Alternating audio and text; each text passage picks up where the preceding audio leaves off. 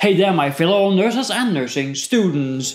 Today we are delving into exploring the profound dimensions of care as envisioned by Kari Martinsen, a notable figure in the field of healthcare, ethics, and philosophy. Kari Martinsen's works has greatly influenced the way we perceive care. She introduces us to a multifaceted approach, breaking down care into several essential dimensions. First and foremost, Martinsen emphasizes the existential dimensions of care.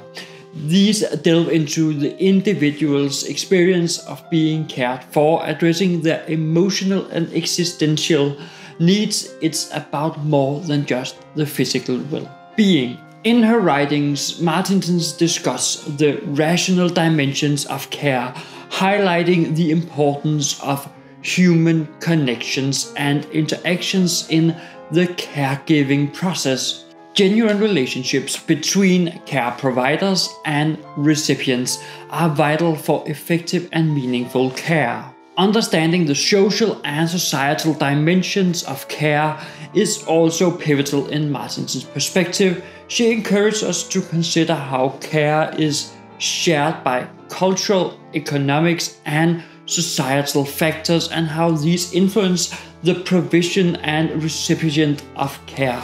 Martinsen's approach involves finding a delicate balance between the various dimensions of care. It is not just about treating medical conditions.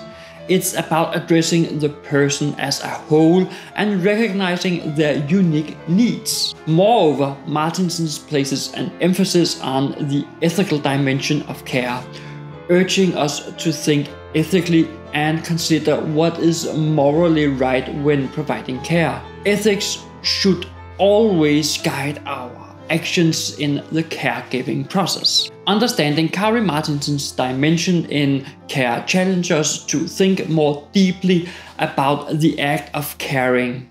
It urges us to consider the person holistically, considering not only their medical needs but also emotional, relationship, societal context, and the ethical framework. And if you want to get smarter on Martinsen's theory, then check out this playlist. And I'll be seeing you right over here where I dive deep into Martinsen's theory.